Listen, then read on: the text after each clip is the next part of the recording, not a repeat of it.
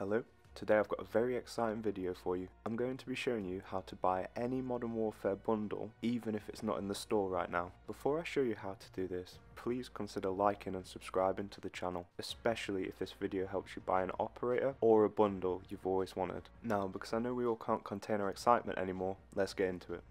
So um, I'm going to have a quick look through the store today and I already know that there's nothing in here I want. The bundle I wanted was the Arachnid bundle with the Domino operator. Unfortunately it failed to record when I was purchasing it but trust me I am not lying to you this does actually work. Because I messed up my purchase I'm going to be using the Oceanographer as an example. As we can see it is definitely not in the store right now. So the only thing you need to know is a gun from the bundle. So what you want to do is you want to go to the private match and then go to build a class in the weapons section. From here you'll go across to the weapon you want and the store. As you can see it's absolutely packed with weapons that weren't in the Call of Duty store. And that's it. That's where you can buy it. And if you still don't believe me I'll show you another example with the M4.